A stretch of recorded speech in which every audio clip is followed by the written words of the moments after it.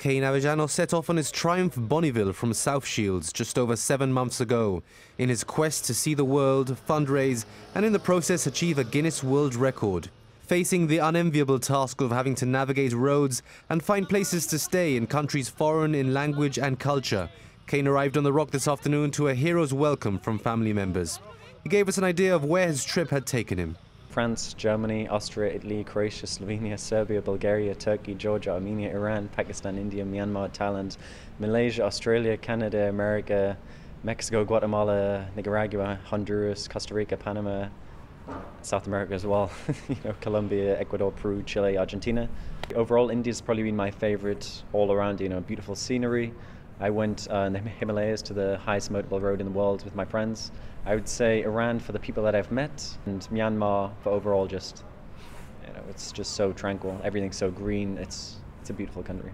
The road less travelled is one which is not often taken, and in this instance was one which was pretty hard to find for Kane as he got further and further away from the relative comfort of roads and traffic closer to home. Unsurprisingly, the trip not coming without its fair share of scares. I've had incidents where people have just came across the road in motorways in India, nearly been hit um, in the mountains, massive lorries coming towards me.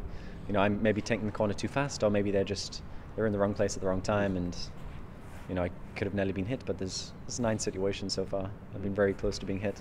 He spent varying hours on the road per day, up to 22 on some occasions, and took his sleeping arrangements one night at a time, staying in hostels, shelters, airports, and even out in fields.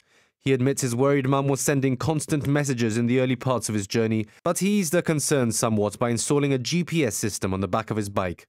And it won't be too long until they're reunited, with Kane hoping to finish the trip before his 24th birthday next Friday. I hope to finish by the 19th. You know, I would like to be back before the my birthday. That would be great. Um, I'm not too sure what's planned so far. I'm thinking I might go to Morocco um, on the Sunday, just to say I have all six continents that I've been to.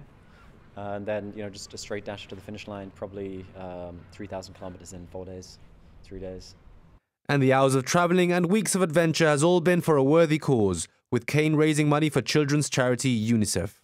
Thought by having such a universal charity and such a noble focus such as children, um, it'd be one of the best charities to raise along my trip. And, you know, along my trip I've seen so many different children, different circumstances, whether that's children on the streets of India, um, you know, begging for money or you know, there's so many different situations, and I think the children are the most important because obviously those children aren't in school at the moment, and you know, it's very important that they, they should be, and they're in a good situation in, uh, in life and at home and taken care of, everything. He's raised £1,000 so far, and anyone keen to add to that total can donate online at bonitour.com as Kane approaches the last leg of an inspirational and brave journey.